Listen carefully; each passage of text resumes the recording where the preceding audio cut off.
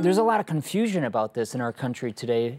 Um, I think mostly because there's great will, goodwill among the American people of recognizing that we don't want the church to be telling the government how they should elect their leaders, for example, saying, hey, elect this guy because he's going to help us. Hel- elect this lady because she's going to help us. We don't want that. Mm-hmm. And we don't want the government either to be coming in and saying, hey, church, this is how you got to be running your hospitals, your churches, et cetera. A lot of goodwill. Mm-hmm. But then there's confusion because also we say, well, separation of church and state, therefore, why is it that the church would be somehow exercising its authority or of its power or its influence over decisions of the federal government, like the Health and Human Service mandate. We say, no, the church should be staying out of government. No, there should be a separation between church and state, but there should not be separation between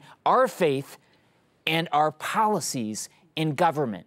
Faith needs to not only help and encourage us in the living of our political life, but it should influence too the way in which we stand up when the government says, we're going to intrude upon you and tell you how you should be running your churches or how you should be acting as a church body. And we can't stand for that. And this was not something just against the Catholics. No, we're talking here about religious liberty.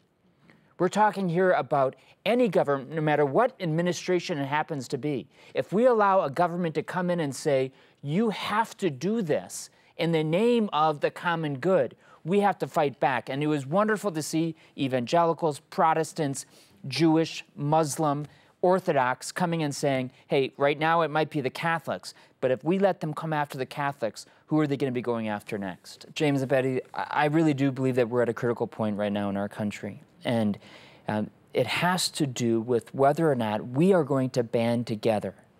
I don't, I don't mean just evangelicals and Protestants. I mean people who recognize that religion and faith has something to say in our society.